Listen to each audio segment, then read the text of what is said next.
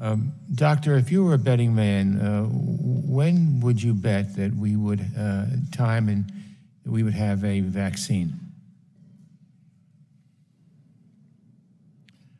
That's a very difficult question to answer. I know that there are companies and, academic labs working very hard.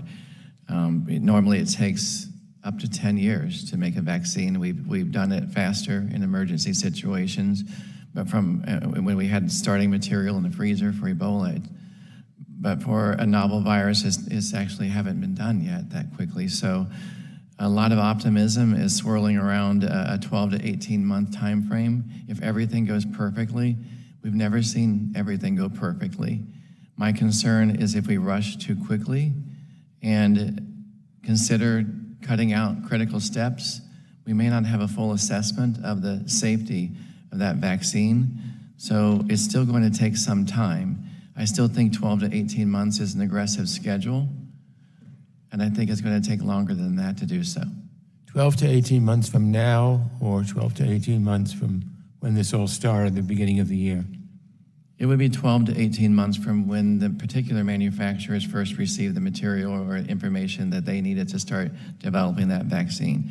It's critical to note when we say 12 to 18 months, that doesn't mean for an FDA approved vaccine.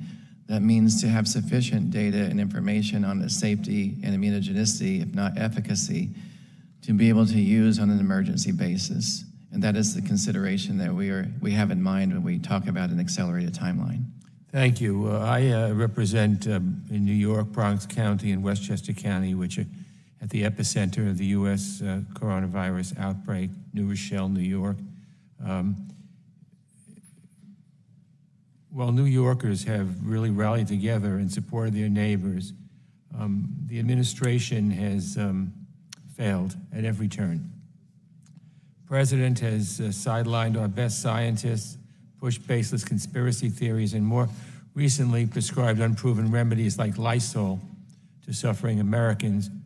Uh, since the early days of the outbreak, President encouraged doctors to prescribe chloroquine to suffering Americans despite a lack of evidence supporting its use. On April 24th, the president's handpicked FDA commissioner even came out against the use of chloroquine for COVID 19 cases.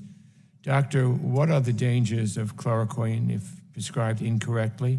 And what happened when you raised the issue of chloroquine use in coronavirus patients with HHS leadership?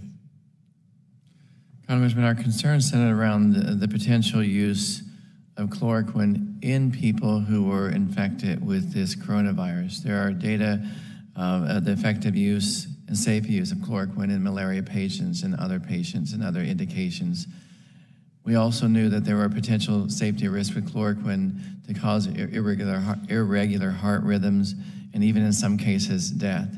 So our concern was with limited information and knowledge especially of its use in COVID 19 infected patients and the potential for those risks, then we should uh, make sure that any studies with that drug were done under carefully controlled clinical study under close watchful eye of a physician so they could respond to a patient if they did experience one of those adverse events. There wasn't sufficient data at that time to support use of this drug in patients with COVID 19 without close physician supervision. And when you raised that issue of uh, chloroquine use in coronavirus patients with HHS leadership, uh, what happened to you? You were re removed as a director of BARDA. Is that, is that not true? I, I believe part of the removal process for me was, initiated because of a push back that I gave when they asked me to put in place an expanded access protocol that would make chloroquine more freely available to Americans that were not under the close supervision of a physician and may not even be confirmed to be infected with the coronavirus.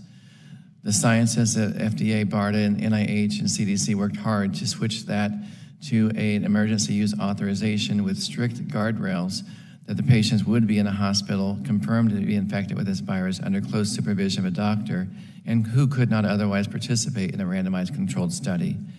My concerns were alleviated somewhat by being able to lock that in the stockpile with those conditions. However, my concerns were escalated when I learned that leadership in the Department of Health and Human Services were pushing to make that drug available outside of this emergency use authorization to flood New York and New Jersey with this drug, regardless of the EUA. And when I spoke outside of our government and shared my concerns for the American public, that I believe was the straw that broke the camel's back and escalated my removal. Thank you. Thank you, Madam Chair. Gentleman's time has expired.